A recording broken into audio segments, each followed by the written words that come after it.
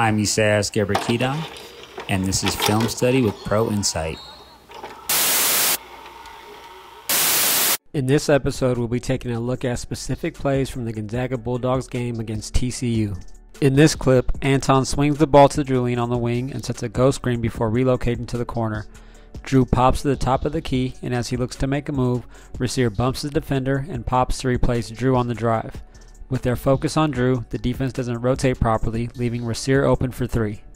With the ball inbounded, Drew sets a screen for the ball handler, and as Nolan comes off the screen, he draws two defenders before finding Drew on the roll.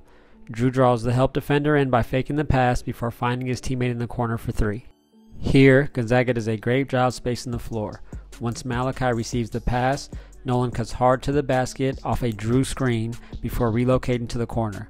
With Anton and Hunter located in the corner, Malachi rejects the screen and gets downhill. The help defender doesn't step up to stop the drive, allowing Malachi to finish with a floater. As Drew receives the pass and looks to make a play, the defense cuts off the driving lane and sends two defenders. As Anton cuts behind the defense, Rasir relocates and knocks down the catch and shoot three. After securing the rebound, Drew pushes the ball in transition and draws four defenders before passing the ball to the weak side wing. With the defense scrambling, Nolan does a great job making the extra pass as Julian knocks down the three. Here, Malachi grabs the rebound and looks to set up the offense.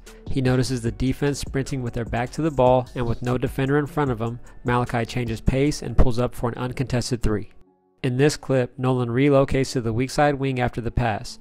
As Anton relocates, Rasir drives right before moving the ball. On the pass, Drew seals his defender, plays wide, and calls for the ball. With the defender out of position, Drew receives the pass, pump fakes, and finishes at the rim while drawing a foul. As the trap comes, Rasir does a great job cutting with pace, allowing Nolan to find him as he turns. Rasir takes the pass, he beats his defender, and has a 3 on 2 break before pitching ahead to Anton for the transition dunk. Gonzaga is a veteran team that plays within themselves and will not force plays on the offensive end.